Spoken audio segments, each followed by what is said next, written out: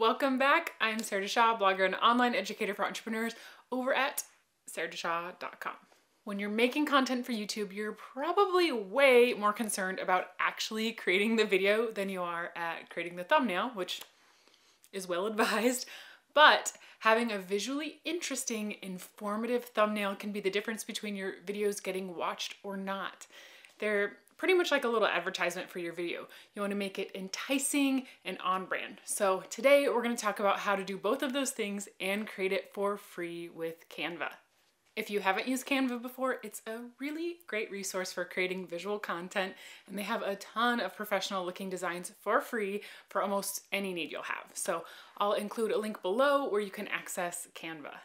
So let's talk about the first thing that is important to do before creating your thumbnail design, which is making sure your design is gonna stand out from the competition. Before you even open Canva to create your design, I highly recommend that you type your title or the main keyword that you're gonna be using in your YouTube video in the YouTube search bar and look at the top thumbnails that come up. This will give you an idea of what words, graphics, photos, or facial expressions showcased on the thumbnails are seeming to resonate with people on the topic.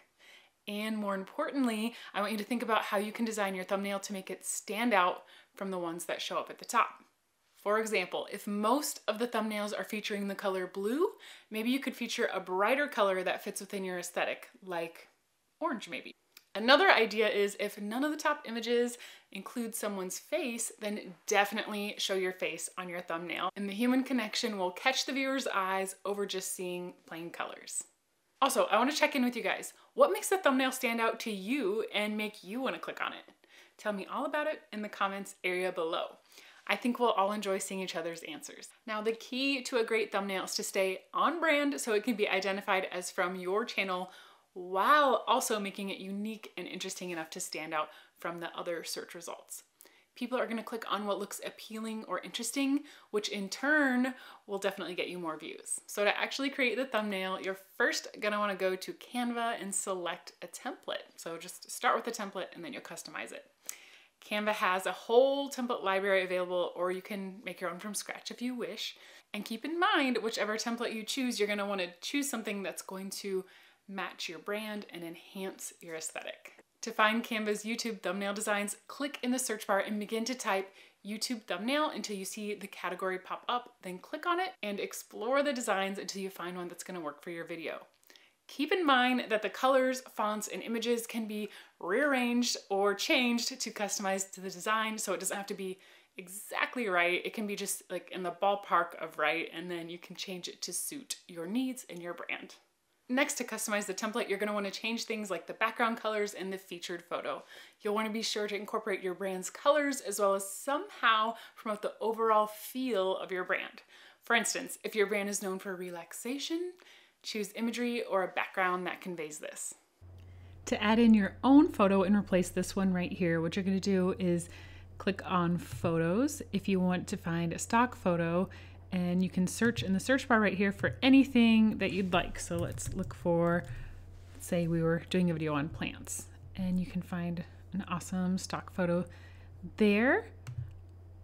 Or what you can do is click on uploads and then you'll be able to see any photos that you have uploaded and that you can use for your video, or you could click this button or drag and drop media in here to just actually upload your own new media. So I'm gonna select this photo right here. You can drag and drop it right over the other photo, or alternatively, you can just click on it, and if you click on it, it'll just like land anywhere, and then you can move it and pull the left or right corners to rearrange it. I'm actually gonna click this trash can icon to delete this one because I actually prefer to just drop it in over the photo. If you wanna change the size of the photo or just like the cropping, just like double click on it and then click on this circled little corner there and pull it and then you can just like drag it around and click the check mark when you're done.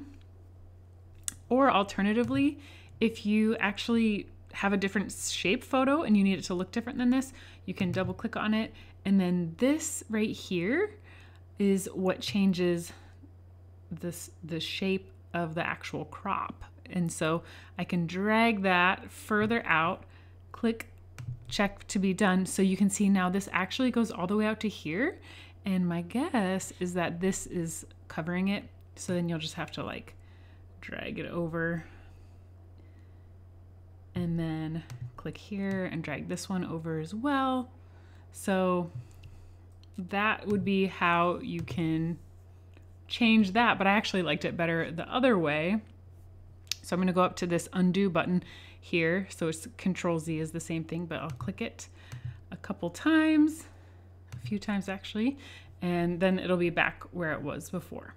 So another cool thing you can do that can be really helpful when designing YouTube thumbnails is to remove the background from a photo. So if I was gonna do that for this photo, I would click on this photo here, click on effects, and then click on this background remover. So I'm gonna do that and let it process. So this works if you have a Canva Pro account only. If I would have done that, then I'll probably take this blue color here and drag it over. And so the blue color will fill up the entire background. And then now that I covered it up, I just have to go to position and click on backward. Okay, there we go. So that is how you can remove a background. And then the other thing here is you can change the background color. So if you want to click on the actual background, then just click on this little square right here.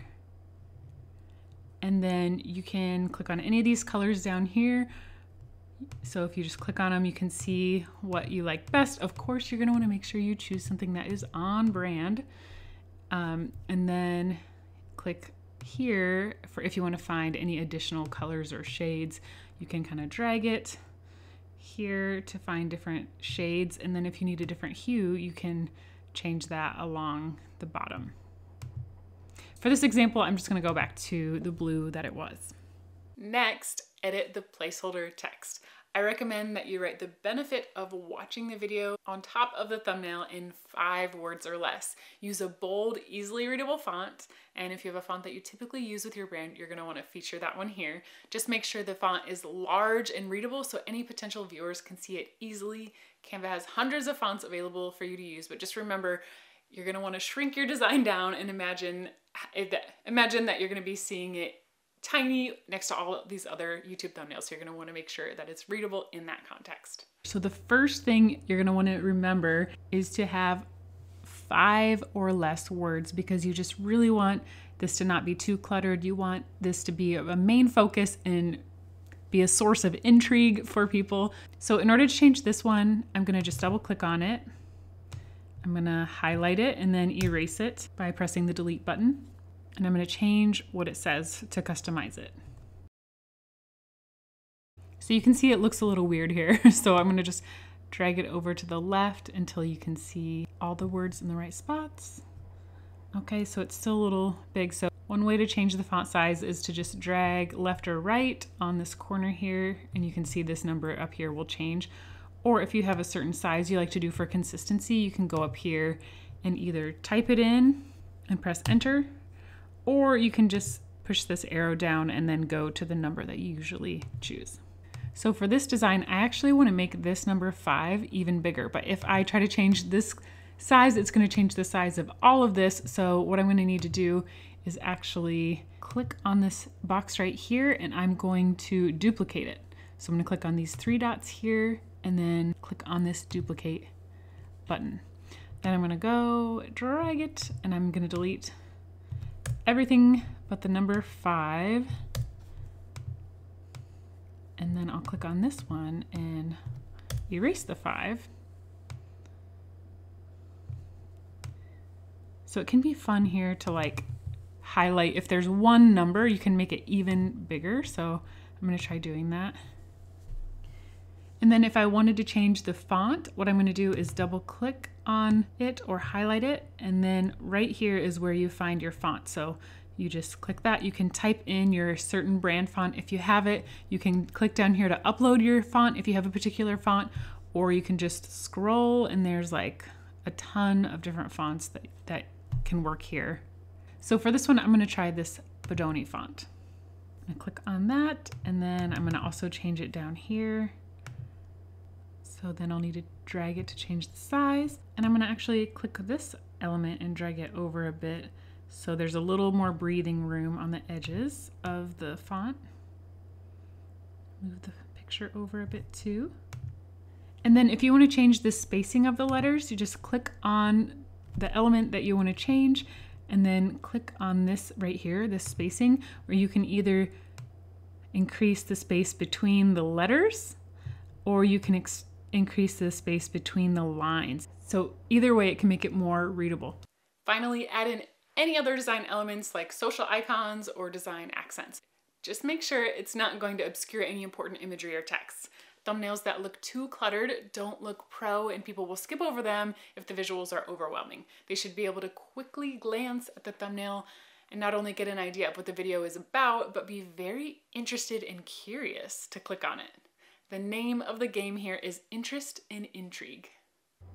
If for some reason you wanted to add some more elements, you just click on this button over here on the left and you can scroll any elements if you wanted any shapes, any little stickers or anything, that's exactly where you find them. And if you want them, you just click on them and then you can rearrange them. You can change the color, you can uh, change the size and everything. I'm gonna delete this one because I don't think this one needs any more, but I just wanted to show you that. Once you've edited all the elements, download your thumbnail and it's ready to go. As you can see, it's looking pretty good. I think this one is ready to go. So all I'm gonna do in that case is change the title here. And then I'd click the download button. And then I just download it as a PNG in just the size it suggests. So I'll just click download and then I'll wait for the bar to go across the screen and then it'll be all downloaded. If you'd like some free resources from me when you sign up for my email newsletter at sarahdeshaw.com slash free dash resources, I'll place the direct link in the area to that in the area below this video. You're gonna get access to all my free PDFs and resources for entrepreneurs, such as a guide on how to pick your Instagram theme colors, an indoor lighting guide for Instagram, as well as a brand photo shoot planner, and lots, lots more. So if you'd like access to those resources, be sure to join my email newsletter. If you want to learn more about creating great content for your brand and more, hit the notification bell to be notified when my next video comes out. Until then, check out one of these two videos over here that I've already created.